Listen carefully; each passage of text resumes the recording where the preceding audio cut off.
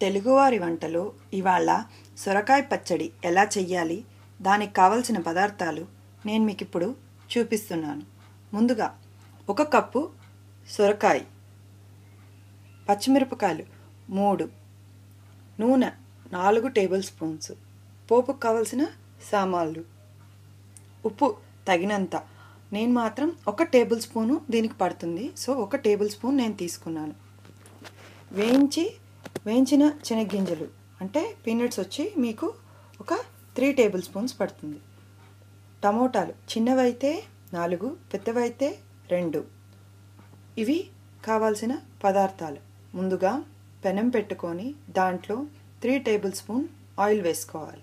ఆ తర్వాత ముందుగా ఆయిల్లో మనము సొరకాయ ముక్కలన్నీ వేసేసుకోవాలి. ఇది బాగా వేయించుకోవాలి. ఒక గోల్డెన్ బ్రౌన్ వచ్చే వరకు మనము దీన్ని వేపుకోవాలన్నమాట. ఒక ఫైవ్ మినిట్స్ పైనే పడుతుంది. ఎందుకంటే దొరికి తర్వాత ఒక త్రీ బై ఫోర్త్ వేగిన తర్వాత మనము టమోటా ముక్కలు కూడా వేసి వేయించుకోవాలి. ఆ టమోటా టమోటాని మొత్తం ముక్కలు ముక్కలుగా మనము కట్ చేసుకోవాలి. ఆ తర్వాత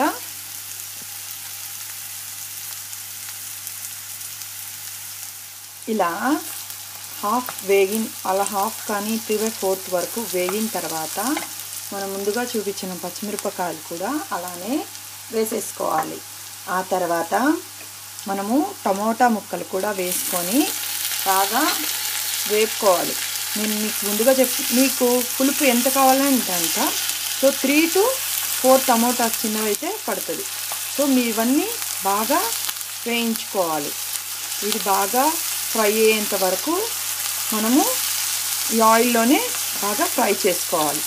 ఆ తర్వాత ఇలా మనము సొరకాయ ముక్కలు బాగా వేగిన తర్వాత టమోటాలు అన్నీ బాగా వేగిన తర్వాత మనము ఒక టేబుల్ స్పూన్ ఉప్పు పడుతుంది దీనికి. ఒక టేబుల్ స్పూన్ ఉప్పు వేసుకొని ఆఫ్ చేసుకొని మనము చల్లారిన తర్వాత ముందుగా మిక్సీలోకి పీనట్స్ వేసుకొని ఆ తర్వాత ఈ చల్లారిన దాన్ని కూడా వేసుకొని వాటర్ మిక్స్ చేసుకొని ఒక ఫోర్ టు ఫైవ్ మినిట్స్ మీకు గ్రైండ్ చేసుకోవాల్సి వస్తుంది. సో ఇది బాగా మెత్తగా గ్రైండ్ చేసుకోవాలన్నమాట. మిక్సీలో పీనట్స్ వేసుకొని బాగా పొడి చేసుకోవాలన్నమాట. ఆ తర్వాత మనము ఈ సొరకాయ ముక్కలు టమోటా ముక్కలు అన్నీ కలిపి ఈ దీంట్లో వేసుకొని చట్నీ లాగా చేసుకోవాలి. ఇలా ముందుగా పౌడర్ లాగా చేసుకున్న తర్వాత ఈ సొరకాయ ముక్కలు కూడా ఇందులో వేసుకోవాలన్నమాట. మొత్తం అంతా వేసుకొని మనము ఒక half glass to one glass మీకు కన్సిస్టెన్సీ ప్రకారము వేసుకొని చట్నీ లాగా రుబ్బుకోవాలన్నమాట.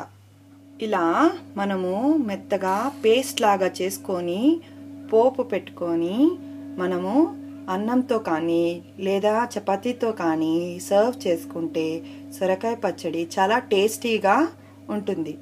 మీకు ఈ వంట నచ్చినట్లయితే ఒక్కసారి ట్రై చేసి చూడండి. మా తెలుగువారి వంటలో సబ్స్క్రైబ్ కండి.